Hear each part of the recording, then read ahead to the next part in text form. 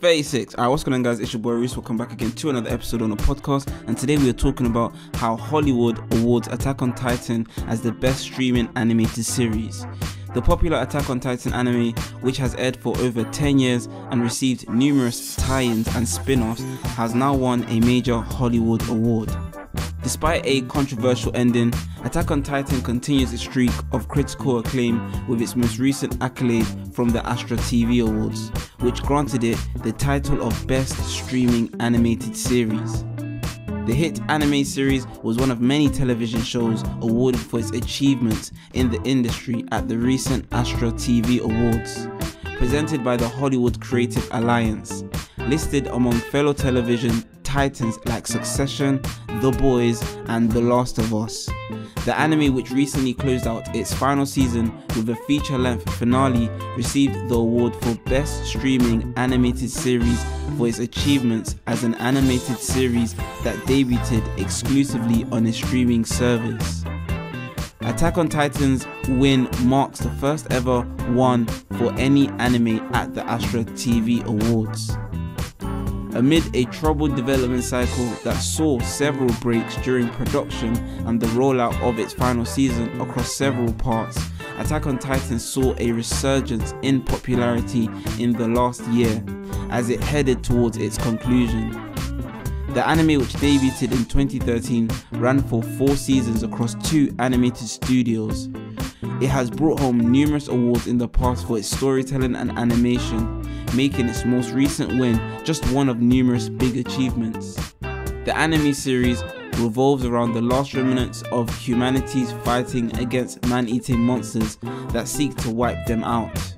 Across its four season, decade long tenure, the series experienced a troubled development cycle that saw its original animators, Wit Studio, eventually hand the work over to Mappa for the final season citing issues with workflow and conditions. Nevertheless, the series finally saw its completion in late 2023 across multiple parts, the last of which aired as a feature length special that adapted the manga's controversial ending and added a few new elements to expand on the conclusion. The manga's original ending proved divisive among fans when it premiered, leading to anticipation of several new chapters that Isayama later released as part of an official art book. Despite this controversial ending, however, the series finale proved to be one of the show's most watched episodes on its release date on Crunchyroll, proving so popular that it reportedly caused major outrages slash outages for the site. This combined with its simultaneous use of traditional hand-drawn animation and 3D rendered CG footage earned it the top spot at the Astra TV Awards, beating out the competition from other streaming exclusive anime series like Spy X Family. Attack on Titan is available to stream on Crunchyroll, Funimation, Netflix, Hulu, and Prime Video. This is a dub for Isayama's work. Okay, this is a dub. Attack on Titan, when I ask random people if they've watched anime, their first anime series to mention to me is Attack on Titan or One Piece or even One Punch Man, which I think is quite intriguing as since the Netflix um, company came out and released that released anime within that um, platform, a lot of people whose first animes have been Attack on Titan. I think Attack on Titan is a trending series in terms of just popularity and the reason why people would tend to um, gravitate towards the anime series is because it can be some form of a relatable anime series slash story. Can you imagine in a real world if titans really existed and they were eating humans? I feel like stories like that is what captures people's interest because people want to know how they would possibly intervene in their own demise if they encountered a titan. The anime series has been going on for 10 years, and for the last ending series, the controversial series is that basically, um, if I remember correctly, Mikasa went and lived her life with another guy. I can't remember the guy's name because to me it's just insignificant, but it was a big thing. Do you know what I mean? I feel like Attack on Titan. Ugh, I don't know how to explain it, but to me personally, it wasn't like a big.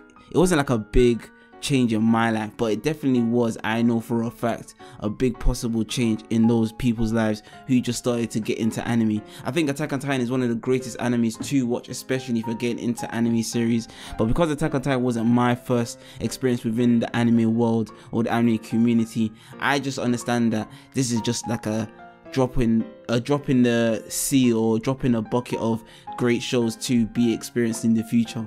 But for someone who's getting into anime, I can imagine that this is this is a whole gallon, you know what I mean? A whole water bottle. Like they are thirsty and this is this just quenched their thirst.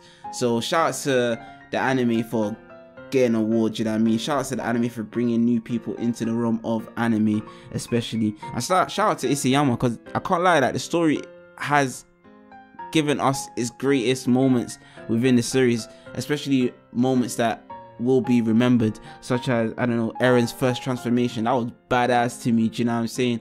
Or when we first found out that Annie was a Titan, that was that was hectic to me. Or when, for example, um, um, Reiner and Bruno, I think his name is Bruno, I can't remember, big um betrayed everyone, and then uh what's this guy's name? Eren was like you traitor! Bro like there's some fire moments in attack on titan bro. I can't even count. Attack on titan is freaking fire bro. Like if you haven't seen it go freaking watch it. Like you would enjoy it. There's no way you will not enjoy it bro. In fact i even spoiled it for you a little bit but like i can't lie to you man. Like there's so many more moments than just that do you know what i'm saying but yeah, anyways, it's been your boy Roose or Mr. 36. And whether you're watching or listening to this in the morning, afternoon, and evening, I hope you guys enjoy this episode and enjoy your day. Make sure to drink water because it is very healthy for you and get your eight hours of rest in a day. You know what I'm saying? As well as that, if you'd like to support the podcast, make sure to hit the description and click the link. Okay? I'm out. Take care. Peace.